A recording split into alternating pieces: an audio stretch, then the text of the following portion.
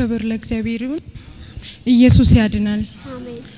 ለእኔ የሆነልኝ ነገር ለረጅም ዓመታት ቀኝ እጄን ያመኝ ነበር። ከባባድ ስራዎችን አልሰራም ነበር ለአስር ዓመት ያህል እና ሰሞኑን ባለፈው ሳምንት በጣም ያመኝ ነበር። በማይታወቅ case ነበር የጀመረኝና እጄን ማንቀሳቀስ ሁላ አልችልም ነበር። even ስልኬን መያዝ አልቻልኩም ነበር። እዚህ ስመጣ እያለቀስኩ ነበር የመጣሁት እና አውራ ጣቴ በጣም አብጧል። ይሄኛው እጄ ከዚህኛው ስለሚቀጥን እፈራለሁ።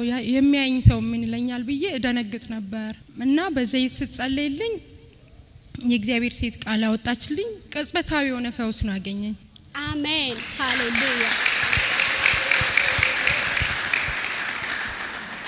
እውነት ለራሴ ማመን ነበር ያቃተኝ በሰዓቱና እስኪ ላረጋግጥ ብዬ ነበር ቤት የሄድኩት።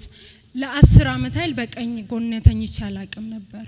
አስር አመት ማለት ቀላል አይደለም በእውነት በአንድ ጎን ብቻ ነበር ምተኛው። ምንም አይነት ስራ አልሰራም ማለት እችላለሁ። በዘይት ስትጸልይልኝ የሆነ በቃ አላ ይሰማኝ የነበረውን ስሜት በሰዓቱ አሁን ልነግራችሁ አልችልም፣ ረስቼዋለሁ። በኃይል በጣም እያመመኝ ነበር፣ ግን የእግዚአብሔር ሴት ስትጸልይልኝ ወዲያው ነበር የዳንኩት። እግዚአብሔር ይመስገን። ሃሌሉያ ሃሌሉያ። እንዲህ ነው እንደ ቆማችሁ አጨብጭቡ። አስር አመት ሙሉ እንደ እግዚአብሔር እኮ ነው ይሄንን ያደረገው። እስቲ በደም ከፍ አድርጉና አጨብጭቡ ለእግዚአብሔር ክብር። ሃሌሉያ ሃሌሉያ ሃሌሉያ። መፈታቴን አውጃለሁ ለዛ ለጠላቴ እነግረዋለሁ ታምር ሰርቶ ራሷም ዘማሪ ነው ስጣት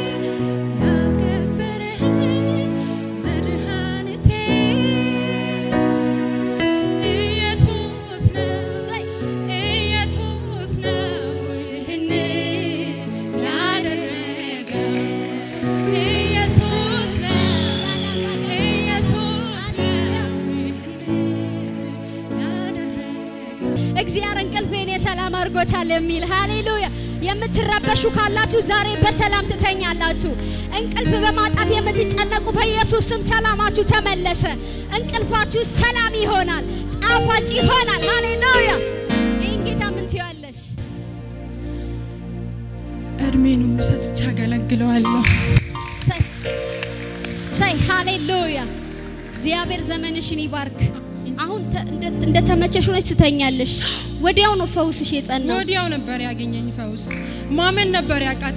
በሰዓቱ ለምሰማኝ ስሜት ነበር በጣም ታመም ስለነበረ ለጣቴ ነበር ተቸገርኩትና እሺ ግን የሆነ አላ ብቻ እኔ እንጃ አላወኩም። መዳኔን ሁላ ረስቼዋለሁኝ። በቀኝ ተኝቼ ጠዋት ስነቃ ድሮ ድንገት ተኝቼ ካደርኩኝ እጄ ይደነዝዝብኝ ነበር እና በጣም ያመኝ ነበር እና በነጋታው በቃ አቃተኝ። እያለቀስኩ ነበር። እዚህ ቤት በእውነት እግዚአብሔር ይሰራል። አሜን። ኢየሱስ እኔ በዘመኔ የእግዚአብሔርን እጅ አይቻለሁ። በእውነት አስር አመት ማለት እኔ እንጃ መናገር ነው የሚያቅተኝ ከልጅነት ጀምሮ ማለት እችላለሁ።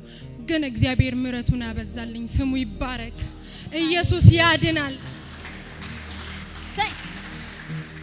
አሁን ተገላብጠሽ ትተኛለሽ እንደ ተመቸኝ ነው ምተኛ። እንደ ተመቸሽ። ስንት ጊዜ ሆነሽ ፈውስሽን ካጸናሽ? አንድ ሳምንት ለሰባት ለሰባት ቀናት ምንም አይነት ህመም የለም። በፍጹም ኢየሱስ ጌታ ነይ ጨብጪ። ሻሎም ሰላምሽ የበዛ ይሆን። ደግሞ ታገለግያለሽ። እግዚአብሔር በሰጠሽ የዝማሬ ቅባት ታገለግያለሽ። የትኛውም ገደብ ከህይወትሽ ፈረሰ። መልካም ሆኖልኛል በይ እስቲ